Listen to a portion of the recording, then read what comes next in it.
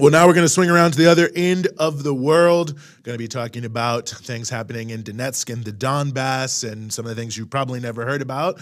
And we are very happy to be joined as we continue the show by Johnny Miller, who's a British journalist and a press TV correspondent who is currently in Donetsk. Johnny, thanks so much for being with us. Thank you. Thank you for having me. Well, we really are happy to have you because I think here in the US, you know, you get a lot of news about you know what is the toll on civilians among other things in uh, you know the ukrainian government held territories in kiev and places like that. But you really don't hear anything about the the daily lives of people who are living in well i guess what's now russia uh, in donetsk in the donbass and and you've been there. And it, talk a little bit if you could about the toll that this war is taking on civilians there. Yeah i mean the, the, I'm currently the only, I think I'm the only Western journalist in Donetsk, i.e., Russian controlled territory in Ukraine.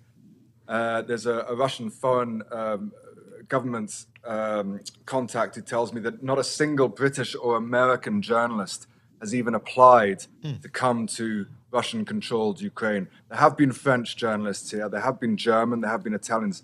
So the, the, the Russian government are allowing Western go- journalists in but there's been no French and uh, no British or uh, American journalists here, which means British and American journalists simply are not hearing the stories that are coming out from this side of the conflict. Uh, I mean, I'm in Donetsk right now in Donbass. Uh, let me tell you what the last few days have been like. It's it's one of the most underreported stories in, in the world, and it's and it's shocking. Of course, Ukraine now is perhaps the most important uh, war that's happening in, in the world right now. Uh, one person was killed by Ukrainian shelling in, in Kiev, uh, in, a, in, a, neighboring district, Kiev, uh, Kiev, Kievsky district, next to me. Uh, yes, uh, today, day before this, uh, eight people were killed. Day before that, five people were killed. two days before that, another five people were killed. This is by Ukrainian shelling. Um, I'm leaving Donetsk tomorrow for Moscow, so normally I'm, I'm careful about what I say for security reasons. But my own neighborhood has been shelled many times. Missiles landed outside my block. I've lived in different uh, buildings, apartments here, and I've been here for last five months on and off. Uh, three different apartments I've lived in have been hit. I was in a church the other day. Um, I tweeted about that. Two days later, the church was hit. The cathedral, the market next to me has been hit. Uh, going to a youth center uh, yesterday uh, a woman was killed. Her body was lying on the street just outside, as I uh, reported. I've been to markets, bodies lying in the streets, people waiting for their bus, still waiting for their buses, bodies lying in the street. And that's just what life is like here for people in Donetsk. Because the underreported story here in, uh, in Donetsk is that Ukraine has been, is, is, is intentionally targeting its own civilians. People it, it claims are its own civilians. And this has been going on intermittently since 2014. Uh, I'm not sure how much you know about the conflict, but in 2014, there was a Ukrainian nationalist takeover of power, largely supported by Western countries, particularly by the United States, which took power and started uh, suppressing their pro Russian population, who are largely in the south and the east of the country. Then you had a, effectively a civil war starting. And while Russia is now targeting energy infrastructure all around Ukraine, it's an incredibly underreported story that Ukraine is purposefully targeting its own civilians here. Sometimes it hits energy infrastructure or, or, or, administration buildings, but it also creates terror attacks. And it's just incredible for myself as a journalist. I, I don't know much about your news network, I'm sorry, but I can see that you give fantastic space to independent journalists. And increasingly, it's and there's some fantastic independent journalists who've been here, but mainstream sources simply don't, journalists don't come here so they don't get to hear that Ukraine is intentionally targeting its own civilians because it sees them as separatists, it sees them as pro Russians. And living under this shelling, I mean, I run back to my apartment tonight to do this interview because there's a, sh- a bomb landed just outside my apartment mm. and it's a shrapnel that rips these people apart.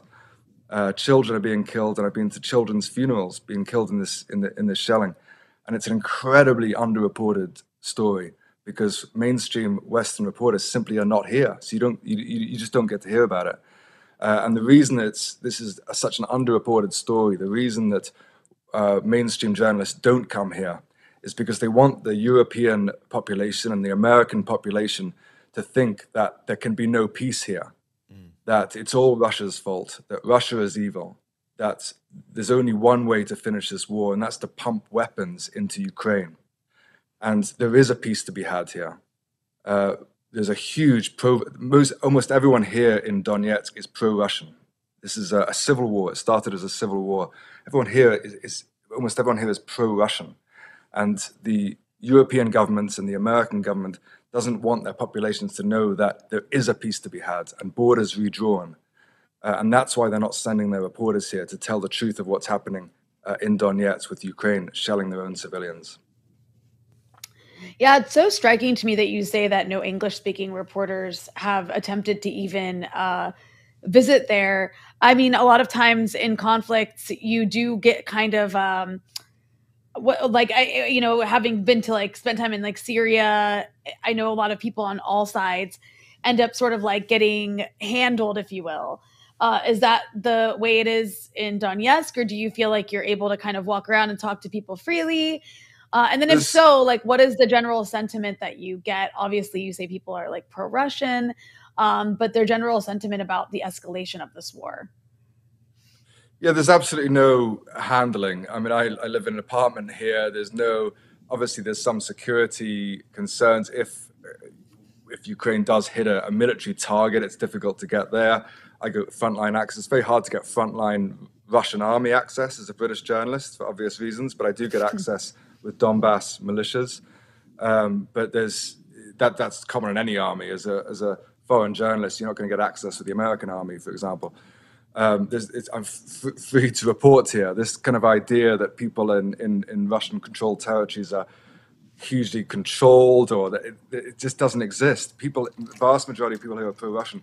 I was here, here in 2014, and there were Western journal, uh, mainstream journalists there in 2014. They admitted as well that the majority of people here were pro-Russian. Now that's changed the, since I've come back eight years later. Now it's vast majority pro-Russian because many of the pro-Ukrainians have left. They didn't want to live under pro-separatist mm-hmm. rule. Uh, they didn't want to be bombed by their own government in Ukraine. So now it's vast majority uh, pro-Russian, and this is why mainstream outlets aren't sending journal, uh, journalists here because if, if a lot of mainstream journalists are honest people, good honest people, and if they were to hear, if they were here where I am now, they would, they would, they would have to report the fact that the vast majority of people here support Russia and that Ukraine is bombing civilians. I mean, we live under it. I mean, the, the, the streets are, are, almost empty now, and it's it's it's dangerous on the, very dangerous on the streets. They would have no choice but to report this. They would have no choice to go to the markets, the schools, the bus stations with bodies in the street. They would have no choice to report that, and that's why they simply don't send their reporters here, because news happens where the reporters are and it's easy just not to send them. Therefore, people don't get to hear about it. Uh, but yeah, so myself working here, it's freedom to report. Um, it's it's a normal situation. You know, I'm I'm glad you brought that up because I think some of the reporting that you've done, a lot of the reporting you've done that we have followed. One of the things that stood out to me that was a huge story here. Um, you know, the, the the young woman who was pregnant in the hospital or alleged hospital was bombed, and it was the front page of every news, and it was huge outrage in the West. You were actually able to find her and talk to her, and the story was not exactly the story as the way it was told. You know, in the New York Times and the other elements. I'm curious if you could talk about that a little bit. Yeah, I mean, so she was famous for a picture. She was pregnant uh, at a hospital that was uh, apparently bombed by Russia. It may well have been bombed. I don't know. It may have been an airstrike.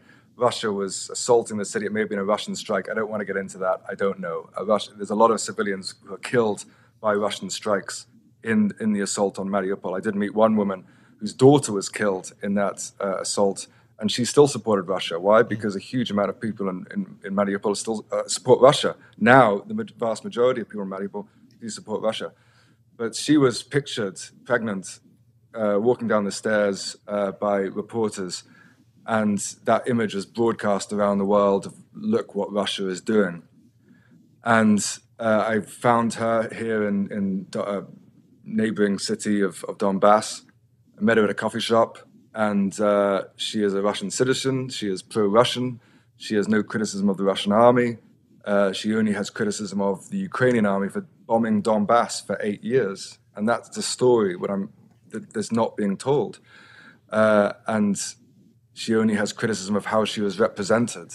She says that her story wasn't told. She says there was no Russian airstrikes, but the but mainstream media showed her to be a victim of Russian strikes. But in actual fact, she was she is a Russian citizen. She is pro-Russian essentially, um, and her image has been used to all around the world to stir up hatred of Russia.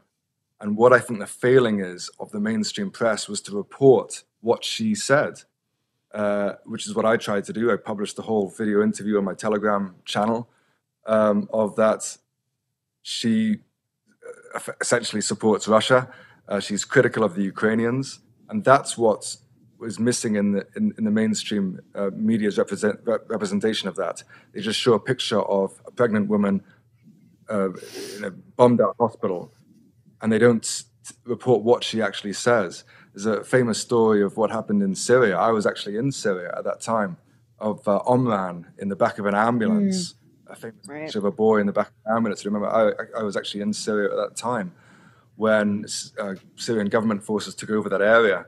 And I spoke to the father, and the father turned out to, to not be critical of the, the Syrian government.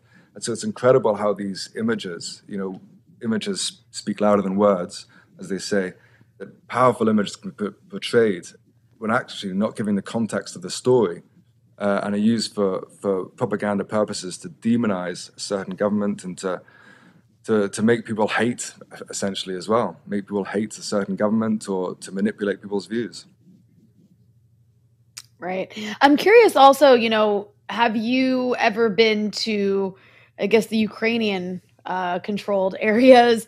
Have you attempted to? Would you even feel safe, actually, uh, given you know some of the rhetoric about, for example, like Iran?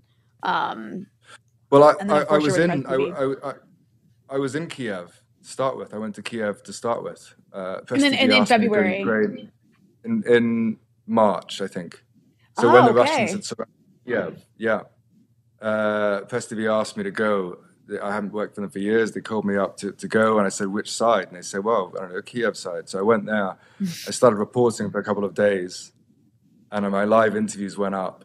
And I was, you know, I try to be, you know, I'm an honest, I'm an honest journalist, an honest man. I'm critical of, you know, both sides, and but also criticize criticize NATO as well and, and the Zelensky government. And I saw these interviews go up, and I knew that Ukraine is now it's it's banned all opposition parties. It's banned all media except for the, the, the main government channel. Uh, anybody seen as pro-Russian is is arrested, tortured, or killed. Um, and so I left. I realized. I mean, I've been deported from countries before. I was deported from Israel. I've been deported from Bahrain. Gone through very scary experiences, locked in rooms and threatened with violence. So I know how these things can happen to journalists. And so I left and then went to this side. And now I'm on the, the Ukrainian so-called hit list, Vedets, uh, I don't know if you know about that. So it's an online database of Ukrainian enemies of the state in which hundreds of children are on that list. So I did a story about a 13 year old girl, Faina. Uh, you should get on the show. She's on the Ukrainian uh, enemies of Ukraine list, and she's a 13 year old girl. Her, her home address is published on this site. And whenever they a journalist is killed on this site, they write liquidated over over the photo. So it promotes violence towards anybody on this site, and there's children on this site. When people talk about the Nazis or the far right, or the extremist elements of the Ukraine, you just have to look at this site, which puts the, the home addresses and photos and names of children and promotes violence against them. So I'm on that list uh, now, so I can't return. I can't go back to Ukraine. I'd be arrested or killed. Simple as that. And and for journalists, I mean, I mean, increasingly journalists around the world, you know, journal, Julian Assange is in jail. So many journalists, increasingly, and now we're looking at this oncoming World War III. I was at the front line uh, last week, and I spoke to Russian soldiers who they felt that they were fighting in the opening stages of World War III. Mm. You know, a, a, world war between uh, NATO, led by the United States, and China, Russia, Iran. And increasingly, journalists uh, do face potential of serious recriminations. Um, a friend of mine, German journalist, is facing three years imprisonment in Germany. She can't return home uh, in Germany because she's facing imprisonment simply reporting the truth in Donbass. Her mother, I'm friends with her mother. She's a wonderful 60 year old, 65 year old woman. She's a spiritual healer. She's a wonderful, lovely woman. she had her bank account closed in Germany, and she's had to fled to, to, to flee to, to, flee to Russia as well. There's inc- increasing persecution of journalists, um, and increasingly we're feeling very very much under threat. Mm-hmm. Well, before we let you go, Johnny, where can people follow your work? Well, yeah, um, I'm reporting for, for, Press TV here, also Twitter. Uh, I don't know if you put the Twitter handle up. I can't remember uh, on Telegram as well. Um, and yeah, I listened to some of your show, and it seems like you do fantastic work, guys. So thank you so much. Right on. No, thank you absolutely, and we'll we'll definitely get this out and tag you so people can follow you wherever you are, and, and stay safe. And we're looking forward to talking to you again sometime. Thanks, buddy. Thanks, guys.